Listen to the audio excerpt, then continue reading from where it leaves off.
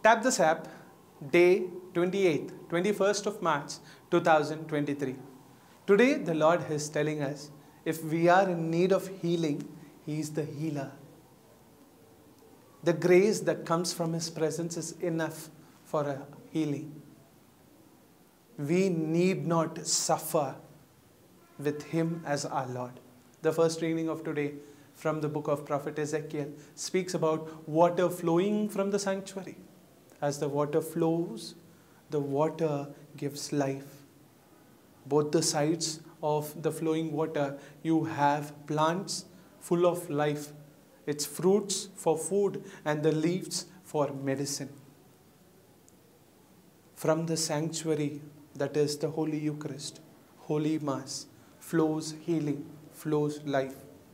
And the Gospel of today, John chapter 5, verses 1 to 6, speaks about an invalid who was for 38 years near the pool of Bethsaida, Bethesda, waiting for someone to lift and put him when the when the pool is churning. It happens every year when the pool churns.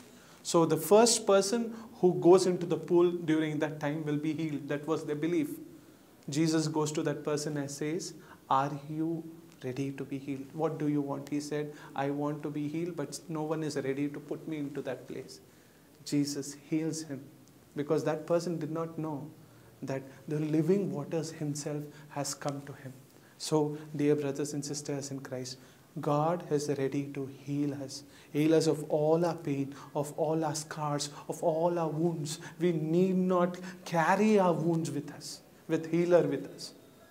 Henceforth, let us pray to the Lord and ask Him for the grace. If I have light fever and I have paracetamol in my pocket, the only thing I have to do is take it in and the medicine will work.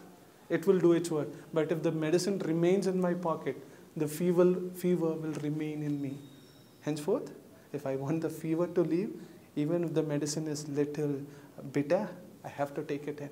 If I want the grace of God to heal me, I have to allow that grace to work in me. Amen.